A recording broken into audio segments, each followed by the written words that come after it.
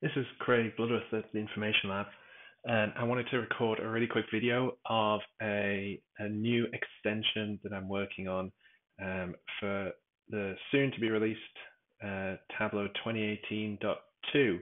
Um, so this is a version that's currently in beta now.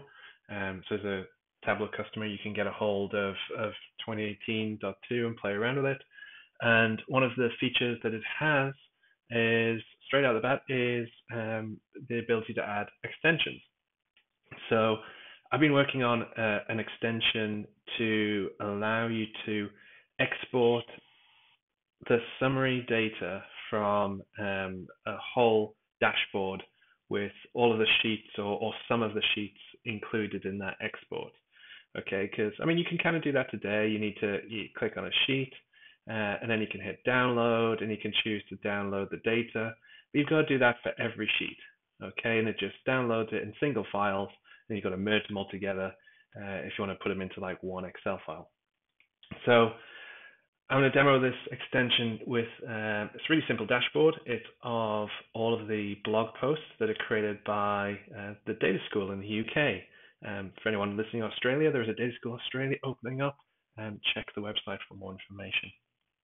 So um, we can see that DS8, which is a current data school cohort that are going through their training, um, they're kind of sort of, you know, middle of the pack, doing okay. They need to pick it up a bit during their, their final couple of uh, weeks before they pick up to, to kind of overtake uh, any of the, the, the data school 2 or data school 4 cohorts. So how am I going to put an extension on here? Well, first of all, I'm going to go into edit and notice here this, and I'm recording this using web editing. Okay, so just like lots of new features, the extensions uh, feature is coming straight into web edit.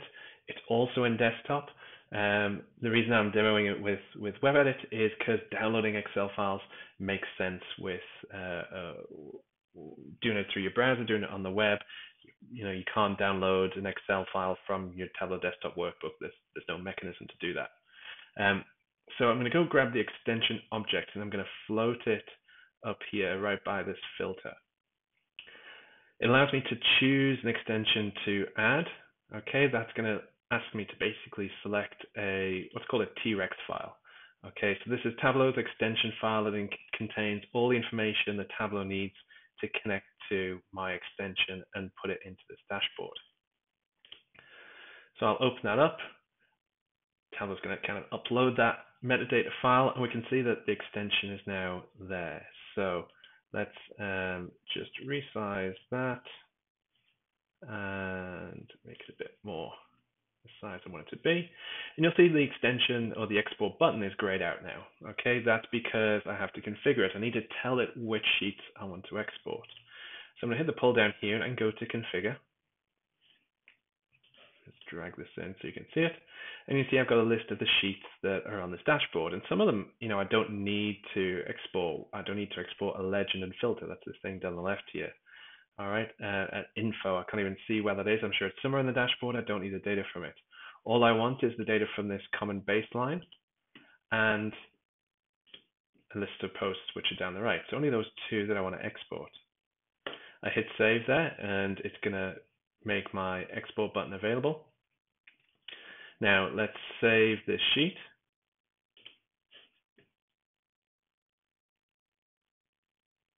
Okay, that's all saved. And we're going to come out of web edit mode. So now we're just going to be kind of in, in viewer interactor mode.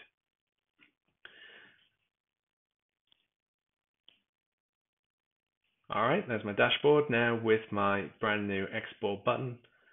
I'm going to hit that and just off the screen, if I drag this up, you'll see that I now have um, an export uh, Excel file which is being downloaded and